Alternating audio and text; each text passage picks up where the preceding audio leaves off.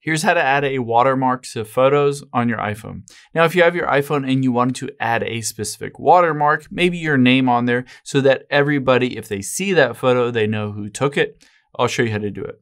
Now, the nice thing is you can use all built-in apps on your phone. So let's open up the Photos app here and just choose a random photo. Now I'm gonna hit edit at the top right. And you can see again at the top right is the little pencil icon. I'm gonna tap on that. And this basically brings up the markup. So I'm going to tap the little plus at the bottom right and then add text. And I will essentially just change this text to Trevor Nace.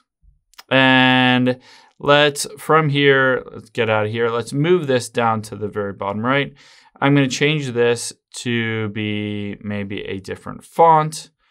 I'm going to tap on the 60 because I want this to be a little bit smaller than that. Let's say 35.